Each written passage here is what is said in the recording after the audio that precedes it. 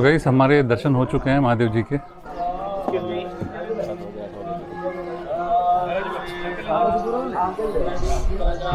नमस्ते पंडित जी। तो आप इस मंदिर का कुछ महत्व बताएँगे?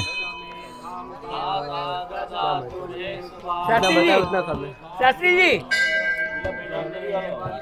तो आप ज़रा बताएँगे इस मंदिर की विशेषता। इसका नाम है कोटेश्वर और इसका पुराणों में कई जगह पर उल्लेख है।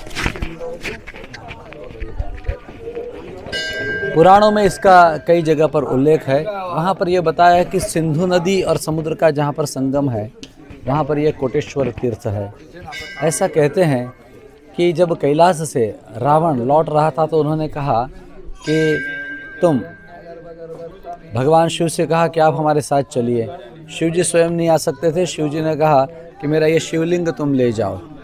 और शिवलिंग लेकर जब रावण चला, तब शिव जी ने कहा कि इसे कहीं पर भी नीचे मत रखना, अन्यथा वहीं पर मैं स्थापित हो जाऊँगा। रावण जब यहाँ से गुजरा, और तब भगवान की इच्छा नहीं थी कि वह, वे लंका में जाए, रावण के साथ जाए तो शिव जी ने ऐसी लीला की कि रावण को लघुशंका लग गई, और उसके लिए उसको ठहरना पड़ा। उस वक्त कोई ग्वाला था, उस ग्वारिये को उसने यह शिवलिंग दे दिया और कहा कि तुम यहीं पर इसको रख दो। अरे तुम्हारे हाथ में रखना, नीचे नहीं रखना।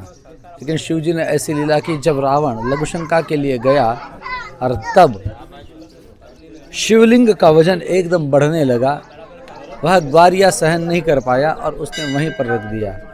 जब रावण वापस लौटा है, तब उसने जो देखा, वो एक पूरा, एक अलौकिक अद्वितीय दृश्य था। वह ये था कि यहाँ कई कई शिवलिंग हो गए थे, जिसको हम कहते हैं करोड़ों करोड़ों शिवलिंग, और करोड़ों को संस्कृत में कोटि ऐसा कहते हैं। तो ऐसे कोटि कोटि लिंग यहाँ पर हो गए थे। शिव जी जाना नहीं चाहते थे इसलिए। अब इनमें से अपना कौन सा शिवलिंग? यह मालूम नहीं हुआ, और रावण ने उधर ही प्रणाम किए, रावण चल पड़ा। उसके बाद यह लिंग वैसा का वैसा रहा, बाकी के लिंग वहाँ अदृश्य हो गए, और इसलिए इनको कोटेश्वर ऐसा भी कहते हैं। यह कोटेश्वर का मंदिर आज गुजरात सरकार के अंडर में इसका शासन, प्रशासन वगैरह चल रहा है। धन्यवाद। धन्यवाद पंडित जी।